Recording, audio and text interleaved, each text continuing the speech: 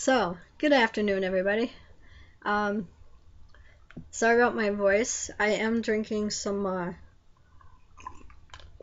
very interesting combination of juice um, to kind of help combat my throat. It's V8 Purple Power and Carrot Mango. And hopefully it will knock this nonsense out of my throat. Um, I've been uh, having a lot of upper respiratory problems and um, sinus issues and my tonsils are pretty dang huge for what they're supposed to be. Um, anyway, my main thing today is a product review rant. Um, you cannot see the brand of this. It's really faintly faintly in there. It's Good Cook can opener. Paid nine bucks for it, and now after like not even probably not even six months, it's broken. And I looked at my grocery store today, and they had a 10.99 version model that um, looks kind of like the other style where it has just the metal part and it like it just it doesn't look that good at all and then they have a 14.99 model. that one looks a little bit more high tech, so to speak. um,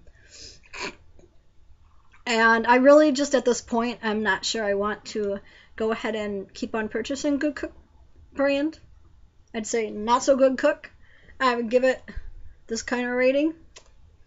So, um, yeah. This thing just, it does not work anymore. Normally what it was supposed to do is it was supposed to lock onto the can and then this locks in place and then you just turn the thing and then you're supposed to push this little button to release it. But now it just does nothing. I mean, do we really want all these filling up the landfills? I mean, what is the only other thing that this is good for is for whacking somebody over the head. Now, I'm not condoning violence. I'm just saying it could make for a good weapon for something. Not that I want to ever use it that way, but this is pretty much going in the trash. and I'm going to have to keep on looking around for something. Um, so, yeah, that's my thing there um, that I was going to say. And like I said, I really don't want to do a lot of talking. I shouldn't be. I really need to rest my vocal cords, but oh, it just really sucks that I have to suffer through all this. So, in conclusion, do not use the Good Cook brand. It gets this rating. Thanks for tuning in.